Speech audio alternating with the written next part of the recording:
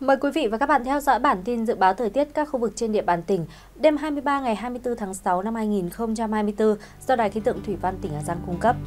Khu vực công viên địa chất toàn cầu cao nguyên đá Đồng Văn có mây, chiều tối và đêm có mưa rào và rông rải rác, ngày có mưa vài nơi, trời nắng gián đoạn, gió nhẹ. Trong cơn rông có khả năng xảy ra lốc, xét và gió giật mạnh. Nhiệt độ khu vực này dao động trong khoảng từ 20 đến 29 độ, độ ẩm trung bình là 83%.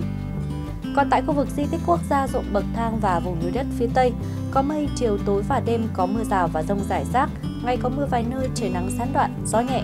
Trong cơn rông có khả năng xảy ra lốc, xét và gió giật mạnh. Nhiệt độ khu vực này dao động trong khoảng từ 23 đến 32 độ, độ ẩm trung bình là 83%. Khu vực vùng núi thấp, khu vực này có mây, chiều tối và đêm có mưa rào và rông rải rác, có nơi mưa to và rông ngày trời nắng gió nhẹ. Trong cơn rông có khả năng xảy ra lốc, xét và gió giật mạnh. Nhiệt độ sẽ dao động trong khoảng từ 24 đến 34 độ, độ ẩm trung bình là 85%.